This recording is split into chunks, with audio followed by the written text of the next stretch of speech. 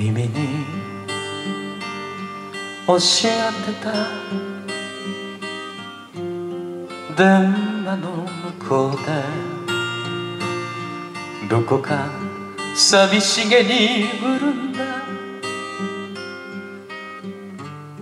君の声がする。僕だと気づいて君は声を飲み他人行儀な挨拶で黙ってしまう君と別れて僕は自由になれたと思い違いをしてたよ。君なしでは何一つできはしないくせに。何か言ってくれ。